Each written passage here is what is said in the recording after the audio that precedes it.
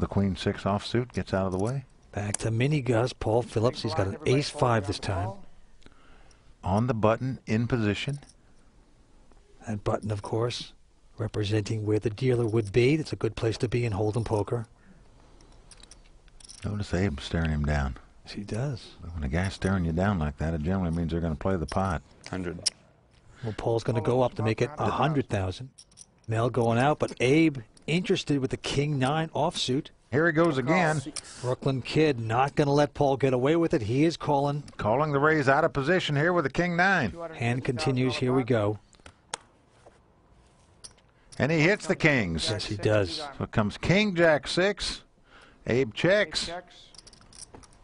Now Paul has not hit his hand. He just has ace high. How is he going to play this?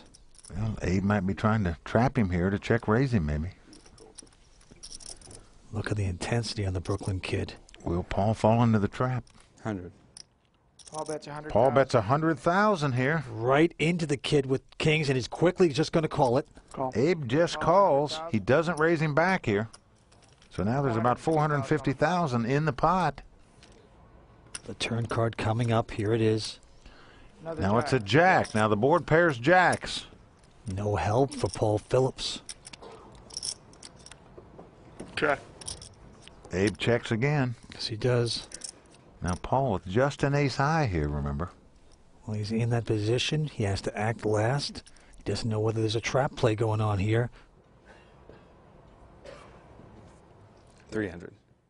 Paul's going to bite for 300. 300,000 Paul bets at this pot. Two jacks, king six on board with two diamonds. Wow.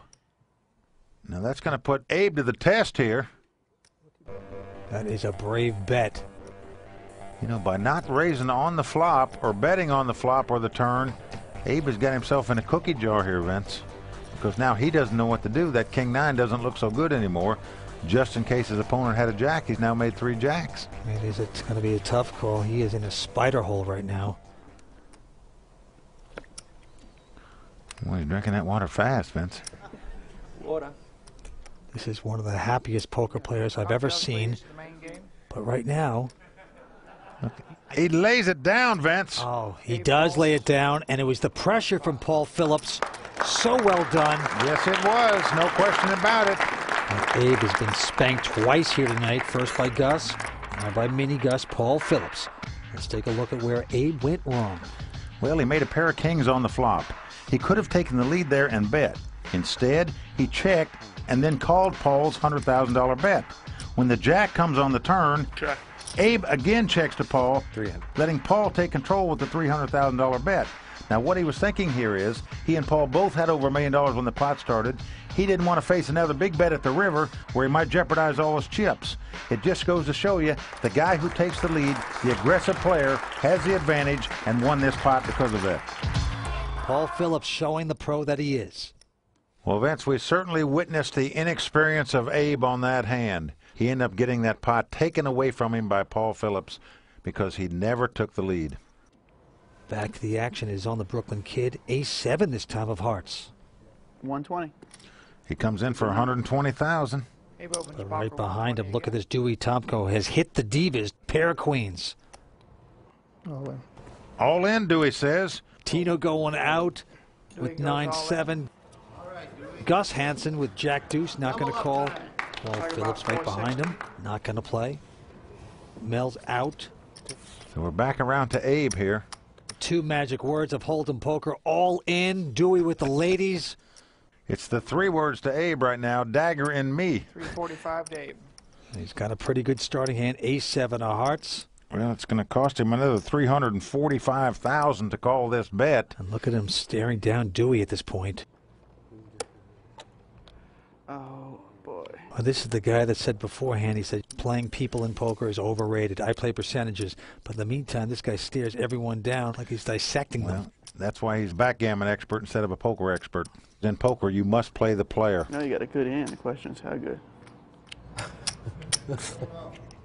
Wow, talk about poker in a nutshell. Look at this. I like his attitude, though. He's got to be frustrated about that last hand. He flopped the top pair. He ended up losing that pot. I just can't imagine he would call Dewey with an ace and a seven. I call. He calls it. He is going to call it. Well, he may win this pot, but he, his armor's cracked here, in my opinion. Well, he's up against the ladies, the ace divas, the hearts. Gabor sisters, you name it. He's got some problems. He's a bit of a dog. We're going to see a flop. No, I know, but you're, you're surprised when people can. Flop comes Here it is. It's Jack six, 6 five. 5. Right now, he's going to have to catch an ace or two running hearts. Otherwise, Dewey Tomko is going to double up. And here we go. Turn The king of hearts comes on the turn, so now he has the nut flush draw here. Got a lot of outs here. He can catch a heart or an ace. If he doesn't catch that, Dewey will double up. Here comes the river. Rivers Three is not going to help the kid. Dewey's going to take the pot. His pair of queens holding up. Did you call with that hand? You call with that hand? Gus would. And Vince, the guy from New York, he has cracked here, in my opinion, the last two consecutive deals, the way he's played them both. Mistakes on both hands have cost him dearly. But look at the smile is back on the Brooklyn kid. Constantly smiling, even when he takes bad beats. Well, that wasn't a bad beat. That was a bad play, Vince. I honestly don't believe any of the other players at the table would have called Dewey's raise there with the ace seven of hearts as Abe did. Well, right now, the poker perception of Dewey Tomko very strong. He makes a nice pot there, and he's right back in the action. He's been a school teacher, made $6,100 a year, I had to supplement my income. I'd play poker all night, come there and sleep. It was the greatest job in the world. Uh, not because I slept all the time, but the kids were great. a golf course owner, When I became a golfer, I tried to become a scratch golfer, and once I became one, I kind of started looking for other things. And now a casino owner. I get bored and uh, I need new adventures. Casino business is a pretty lucrative business. I like it. I've been in it about a year now. They didn't build all these lights out here in Vegas on a nonprofit organization. And after a 15 year poker hiatus, there's yet another venture this second time WPT finalist wants to fulfill. Now it's another challenge for me to become a good player again. And my son's really the main reason I try to teach him how to play poker. And with a teacher like Dewey, his son's sure to learn one big lesson Even when my kids were growing up, uh, I used to tell them when uh, they was playing baseball, basketball, or anything, never show your emotions. Anytime you do that, you're giving your opponent an edge.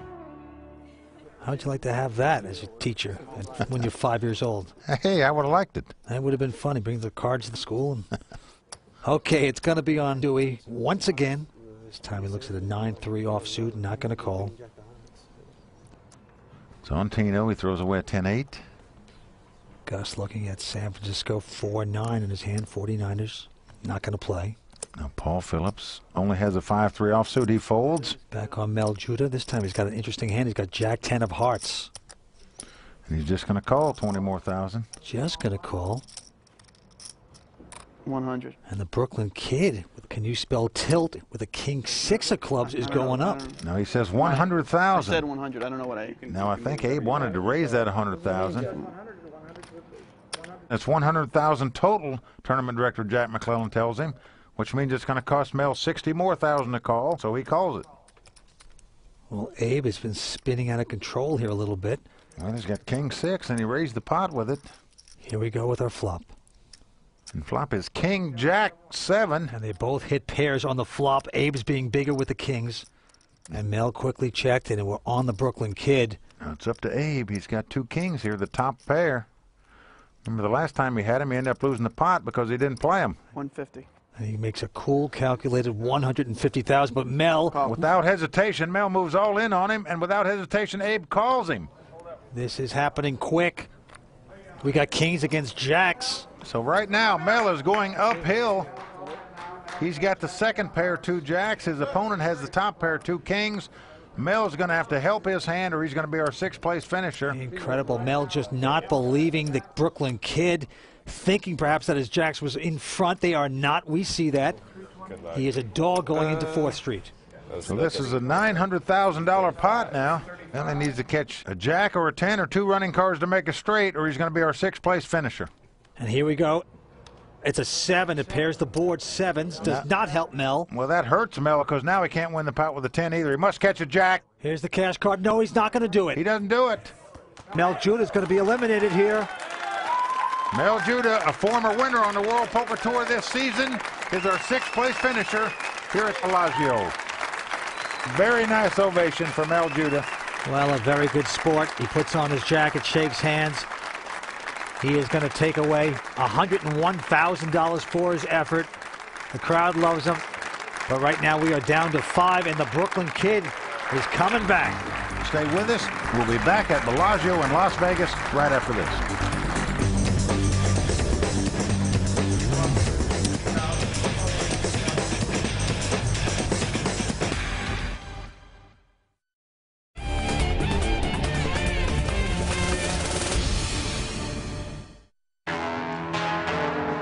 Back to the Bellagio Hotel and Casino. This week's stop on the World Poker Tour. Now back to the men at the center of all the action, Mike Sexton and Vince Van Patten. Well, Vince, former World Poker Tour champion Mel Judah has just been eliminated from this final table. We are down to five players. They're going to open up the games just a little bit more. You can't wait for your big pairs. You got to gamble. Let's see what happens. Back on the kid. And Abe's going to be first. He throws away the 8 6. Dewey's going to throw quickly away an ace five. Tino's 120. reaching for. Tino Lechich with a king, queen of spades is going to raise with a strong hand. Well, nice hand against the two blinds. 320. But look at this, right behind him, gambling Gus has an ace ten of spades, and he's going up on him. He has. He's re-raised it to 320000 a $200,000 raise to his backgammon buddy. Paul with Jack ten of hearts quickly going out. And look at this Tino with a strong starting hand. Finally made a play at me, Gus. 200 more? Yeah, the interesting thing is he's thinking Gus could be playing with anything. After all, he is the poker tramp. Well, he can be. This is a very difficult decision for Tino to make here. Well, right now, Tino's got about 450000 left, Vince. He's got to put 200 of it in right now. That would leave him with only 250000 left. We know they both have quality starting hands. Ace ten versus king queen, all spades. These guys have battled many times on the backgammon table, but this is the poker table, where Gus is king. What is Tino going to do? I call. He's calling. He's going to call it. So we're going to see a flop here, and right now there's over 700,000 in the pot, Vince. Give me a spin, baby. Gus is going to be in a nice position. Anything can happen on the flop, but he does have a nice position odds-wise with this hand. So remember, it's King Queen of Spade. Gus has Ace Ten of Spade. So here we go, over 700,000 in the pot. Here comes a flop. And look at this, Ace King Jack. They have both hit the top pair. Yes, they have. It gives Gus two aces with an ace high straight draw. Tino has two kings with an ace high straight draw. That's a big flop. You got any of it, Gus? That's a big flop. Look at this little poker conversation. Tino says, Have you got any of that? Oh, you have no idea. I think he's going to find out shortly. Gus does have the top pair here and an ace high straight draw. He is sitting pretty. How is he going to play it? 300. I call. 300,000. Gus is going to set him all in. Tino going to quickly call a $300,000 bet. Yeah. And right now, for Tino to stay alive in this tournament, he's going to have to catch a king or a 10. I need your Ace 10. A queen won't help him because that will give Gus an ace high straight. and. Tino quickly calls it because of Gus's reckless needs to catch it. reputation. Can the man from down under survive this? We are going to see fourth street.